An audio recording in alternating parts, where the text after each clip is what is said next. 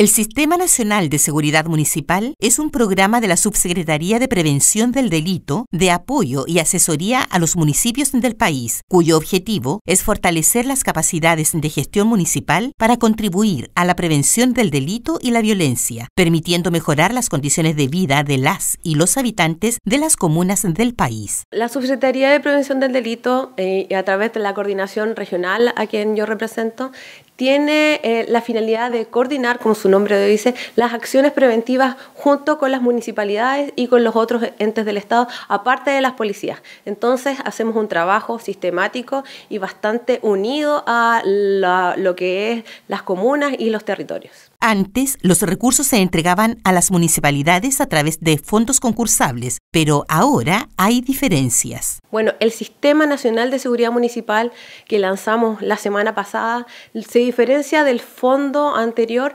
porque asigna directamente los recursos a todas las municipalidades en, en razón de un índice que le da prioridad a las que están un poco más agraviadas con delito, pero finalmente le entrega a todas, porque hay un principio de justicia y equidad mm, eh, territorial detrás de esto que lo impulsa nuestro presidente Gabriel Boric.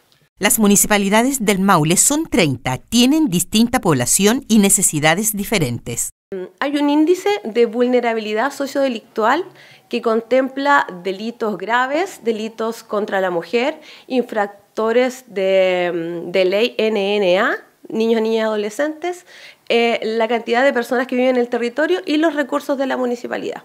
Todo esto nos entrega una especie de, de, de, listado donde están las municipalidades que tienen más problemas. Los delitos no solo han aumentado, sino también han mutado en muchas direcciones. Hay que analizar esta nueva realidad para dar solución en forma urgente.